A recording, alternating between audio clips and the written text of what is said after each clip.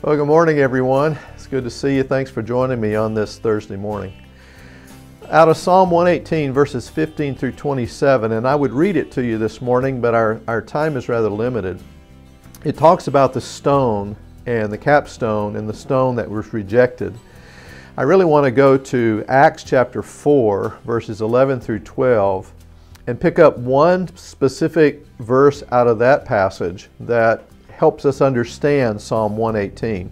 Here's the verse out of Acts chapter 11 Jesus is the stone you builders rejected, which has become the cornerstone. Salvation is found in no one else.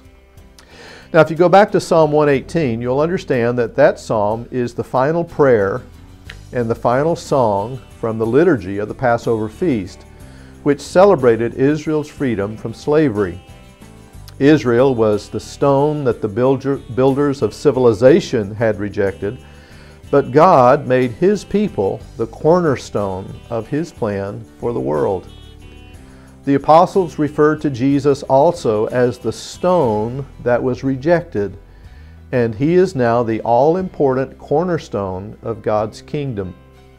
Jesus is the Messiah who rode into Jerusalem as, as Israel's king and though rejected by the Jews, he became the foundation stone for a new temple. And he will come again as the heavenly sovereign judge.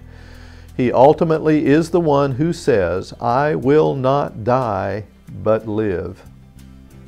Jesus, the Messiah, rises from the depths to the heights, and in the process, he takes us along with him.